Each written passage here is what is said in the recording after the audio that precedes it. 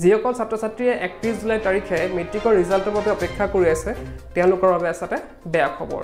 কাৰণ মেট্ৰিকৰ মূল্যায়ন পৰীক্ষা যি চলি আছিল তাক স্থগিত ৰখা হৈছে।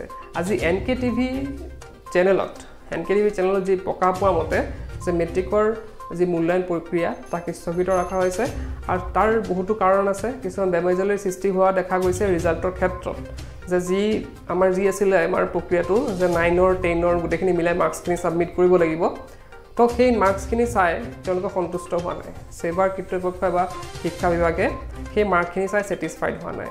তেনেধৰণৰ বিভিন্ন বেমেজালি হৈছে যে কিছুমান আমি নিউজ চেনেলটো চাই আছোঁ কিছুদিন ধৰি যে কিছুমান কিছুমান লোকে কি কৰিছে পইচা দি পেলাই ৰিজাল্টটো ইনক্ৰিজ কৰিবলৈ চেষ্টা কৰি আছে। কিছুমানে ষ্টাৰ পাবলৈ পইচা দিছে কিছুমানে ডিষ্টিংশ্যন পাবলৈ পইচা দিছে। তো এনে এনেধৰণৰ বেমেজালিৰ বাবে কি কৰিছে সেই মূল্যায়ন ব্যৱস্থাটো আকৌ তেওঁলোকে এবাৰ জাষ্টিফাই কৰি চাব ঠিক হৈছেনে নাই। আৰু যদি ঠিক হোৱা নাই তেন্তে কি কৰিব তেওঁলোকে?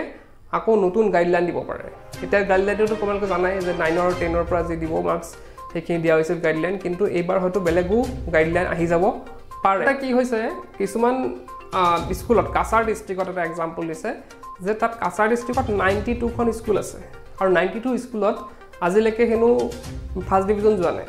মাজে মাজে গৈছে যদি নাজানো মই এন কে টিভিৰ জাষ্ট তোমালোকৰ ৰিপৰ্টটো মই দি আছোঁ যে এন কে টিভিত কি কোৱা মতে মানে নটিছখনৰ মতে তো তাত কাছাৰ ডিষ্ট্ৰিক্টত নাইণ্টি টুখন স্কুল আছে আৰু নাইণ্টি টু স্কুলত এতিয়ালৈকে ফাৰ্ষ্ট ডিভিজনে পোৱা নাই। কিন্তু এইবাৰ এখন স্কুলতে চৈধ্য পোন্ধৰটাকৈ কি কৰিছে ফাৰ্ষ্ট ডিভিজন পোৱা ছাত্ৰ ছাত্ৰী ওলাই গৈছে। তো এইবিলাক ৰিজাল্ট কি হয়? একচেপ্টেবল নহয়। যদি আগতে তেনেকৈ মাজে মাজে হ'লে হয় তেতিয়াহ'লে আমি একচেপ্ট একচেপ্ট কৰিব পাৰিলোঁ হয় যে এনেকুৱা ৰিজাল্ট হ'ব পাৰে। কিন্তু হঠাতে কেতিয়াবা নোহোৱা বস্তুটো হঠাতে হৈ গ'লে কি হয় এইটো এটা কি হৈ যায় আনএক্সপেক্টেড হৈ যায়। বাবে এইটো কি হৈ যায় এটা আচৰিত খবৰ এটা হৈ যায়। ধৰণৰ খেলি মেলিৰ বাবে শিক্ষা বিভাগে আকৌ এবাৰ সিহঁতে মূল্যায়ন ব্যৱস্থাটো চোৱা চিতা কৰিছে আৰু স্থগিত কৰিছে। এতিয়া আহিছোঁ মেইন কথালৈ। তো যেতিয়া মূল্যায়ন ব্যৱস্থাটো স্থগিত আছে আৰু আমাৰ যিহেতু আজি ঊনৈছ তাৰিখ হ'ল আৰু কেইদিনমানহে আছে একত্ৰিছ জুলাইলৈ। তো কি হ'ব পাৰে এতিয়া তোমালোকৰ ৰিজাল্টটো হয়তো অলপ ডিলে হ'ব পাৰে অলপ পিছুৱাই যাব পাৰে।